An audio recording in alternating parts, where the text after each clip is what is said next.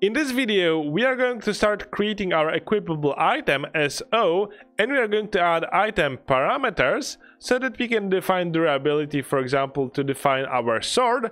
We are going to start coding the logic before in the next video we are going to uh, test our logic. Okay, let's get going. In one of the previous videos, we have already created our equipable item SO. Let's open it up now. Okay, let's delete the start and update. I'm going to extend the item SO. And again, we need to put this into uh, a namespace. So let's right click on the equipable item, quick uh, actions, move to namespace, and we should have inventory model OK. Okay, now we need to also add here, so implement our i destroy uh, destroyable item and i item action interfaces because we know that uh, another type of actions that we want to have in our game is the equip item. That's why our item is called equipable. We need to right click on this item uh, i item actions quick actions and implement this interface. And we are going to say that uh, our string action name will be this time equipable or equip because basically that's what we want to tell uh, or we want to write on the button that we want to show Again, we need to add to the action SFX audio clip. We're going to add get and private set. And this will be uh, for us a way to set the sound effects for our action. Now, before we can implement our perform action method, we need to extend our item SO. So let's uh, go to the uh, to Unity, and we are going to have item modifiers but those are modifiers that we are going to use to uh, modify the stats. So maybe let's rename this folder to be stats modifiers. And we want to create another folder inside our model folder. Right click, create another folder. Let's call this item parameters. Now the idea here is that our sword, for example, may have dur uh, durability that we want to modify when we use the sword or equip it or whatever we want to do. We may want each sword to have this unique parameter that will define that this sword is better than the other one because it has the higher durability. So again, to make it a bit generic, we are going to create uh, a new scriptable object. So let's create a new script. We're going to call it item parameter so and let's open this script up. Great. We are going to delete the start and update. We are going to extend scriptable object. And we are going to, of course, move it, or actually, yeah, we can move it to namespace. So quick action, move to namespace, inventory, uh, dot model, and we are going to create create asset menu attribute above to create it through the uh, create menu in the inspector. Now, one field that we want to have here is field as field public string so this is a property parameter name get private set. Now i do not like using strings to define the type of a parameter but this is a, a way to create a very generic parameter because if we give it a name inside the scriptable object then we only have one parameter of this type if we have only one name that we can be fairly sure and one uh, scriptable object reference, then if we provide a scriptable object reference, we can be sure that the parameter name will match and we can compare this. This is durability parameter. Okay, let's go back to Unity. Let's go to our data folder. Let's right click, create a folder. Let's call it parameters. And we are going to right click, create a new inventory parameter. Let's call it durability parameter. All we need to do here is type the parameter name, let's call it durability. And this way we are going to know what type of parameter is it. Now again, this is only for the sake of creating the description for our item because we need to pass this as well as the value inside the description of the parameter. But otherwise we could use simply the scriptable object name to distinguish or actually the idea of it to distinguish what type of parameter is it. This was shown in uh, uh, one of the Unity videos as uh, instead of enums we are going to use scriptable objects to create those parameters so that we do not have to uh, change the code behind the enum. Instead we simply need to create a new scriptable object reference to define a new parameter. With that done, we need to go back to our model and to our equipable item SO, or, or actually to our item SO. So let's open our item SO script. And generally, this is something that we uh, want to be prepared for because our item SO was meant to have all the data about the items and this time we need to also add another type of data, field serialized field, public list item parameter, default parameters list with a getter and setter. Now, this list will contain item parameter. This is the same thing as we did beforehand with our edible item. We can't store our references to the items inside our modifiers data list in our edible item because we also need to have the value that we want to use to modify this parameter with. And the same thing will happen in our item SO. We need to have another struct or a class that will define the value of this parameter. This time we're going to create a struct. So I'm going to paste the code. We're going to have a public struct item parameter. And we need to add serializable to show it inside the inspector. So right click here, quick actions and say using system. Now system namespace also contains IEquatable uh, interface that allows us to implement equals operation that is used by lists and dictionaries and other collections to compare two items. Now I want to be able to compare item parameter to another item parameter to know if this is the same parameter or not. For example, to reduce this value. So we are going to have a public item parameter SO reference item parameter and a public float value to define this parameter. And we need to use this IEquatable click quick actions and use uh, implement this interface and this will have public bool equals that takes in into item parameter other. So I just want to check if other item parameter is equal to the same item parameter that we have here. So if we have this struct, we can have a list of default parameters inside our item SO.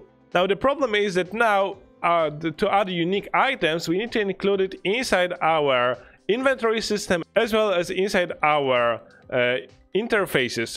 Now let's go back to our edible item SO because right now our item action takes in only the game object reference, but basically we wanted to also take in a list of item parameters item state.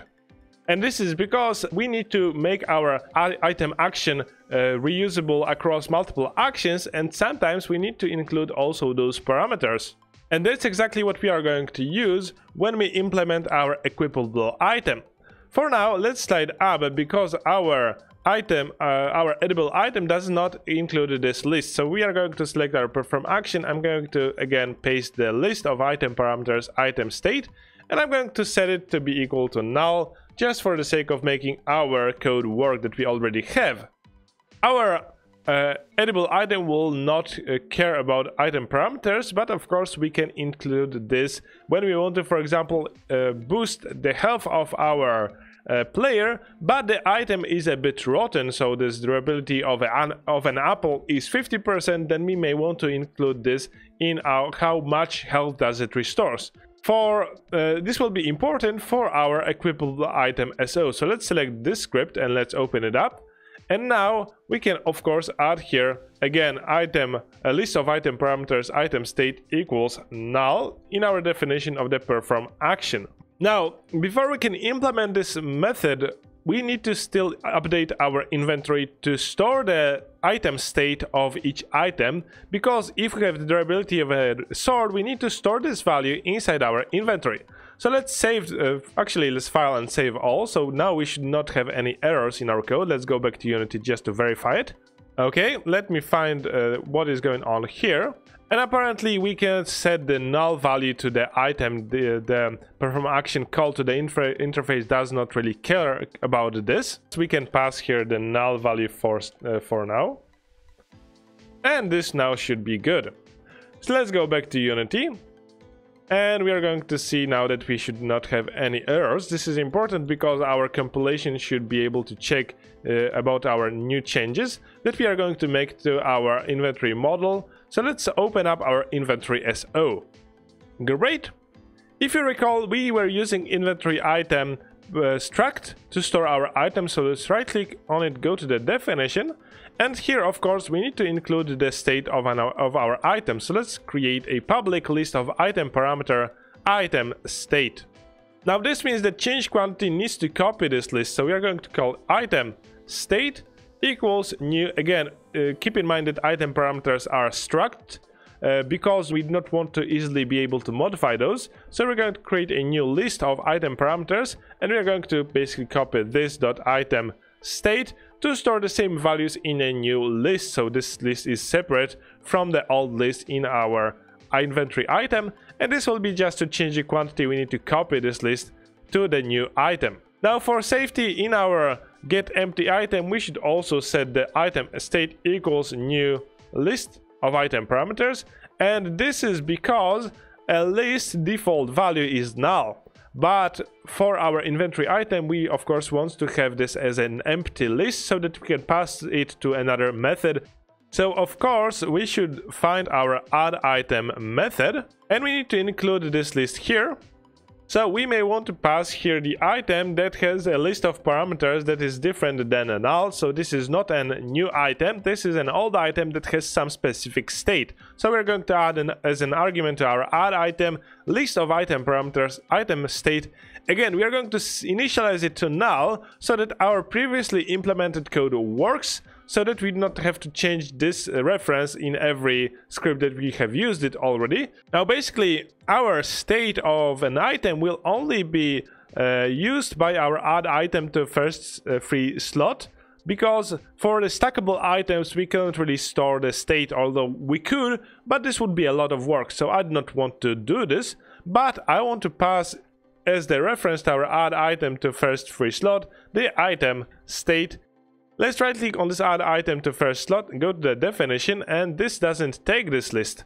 So again, we need to add here the reference to this list. So this will be list of item parameter item state equals null. This way we can again avoid uh, modifying this, although we have only two references. Basically, what we will need to do here is add inside the definition of the item, we're going to define our item uh, to contain a new list of item parameters and if the item state is null, we are going to return item default parameters list. So this is defined in our item SO. Else, we are going to use this item state if this is not empty. And we are going to create a new list of item parameters uh, just to copy the structs into our new list. Okay, and for the most part, this is the only change that we need to make to our inventory SO to take care of assigning this item parameter uh, to our item. Okay, let's again file and save all, and we are going to go back to Unity. Great, no errors. So last thing that I want to do in this video is reopen our inventory controller, and I want to include the parameters from the list inside the description of our item. So, so far, we have assigned this uh, on description requested, handle description requested, go to the definition, and we are going to see that we take the description from the item directly Instead of this, we are going to create a new method, public string prepare description that will take in inventory item inventory item and this will use a string builder. So right click on this string builder quick actions and say using system.text string builder is just a way to more efficiently create strings. We're going to create it as a new string builder. We're going to do a string builder so sb.append inventory item item the description so this will be the base description. We are going to use sb.append line to create a new line. And we are going to loop for int i equals 0, i less than inventory items item so all the item states, i plus plus, and we are going to use the uh, string builder append. We are going to use this uh, dollar sign to ensure that we can pass parameters to our string. We're going to open this uh, quotation marks to define a string and we are going to use those parentheses to create inventory item, item state of index i, item parameter, uh, parameter name. So we are getting here the name of the parameter. We're going to add to it, again, the dollar sign, we're going to open parentheses, add the colon sign, and we're going to pass inventory item, item state of the element i dot value. So this will be the durability for of this specific item. So this might be, for example, 50. We are going to add this division sign, but this will be a string. We are going to add to it, and we are going to again use uh, the dollar sign quotation marks, and we are going to pass inventory item item default parameters list i value. So for example, durability default value is 100, but this item has uh, the value 50. So what we are going to achieve is something like durability colon 50 divided by 100. So this will be just describing the durability is 50 uh, is 60 for from the available 100 points. So this is what we are creating here for each item parameter so this is this for loop and we are going to return sb to string to create it as a string. One more thing that we can add here is sb.append line after each parameter so that we basically create uh, each description of each parameter on a new line. Now to use it we need to slide up to find handle description request and basically after we get the item so we are going to create string description equals prepare description and we are going to pass inventory item. Okay. And when we update our description, we are going to pass this description string instead of item description directly. So now we have our stats assigned to this description as well. Okay, since this video is getting uh, quite long, let's stop here. Let's save all the scripts and in the next video we are going to test our functionality. See you in the next video.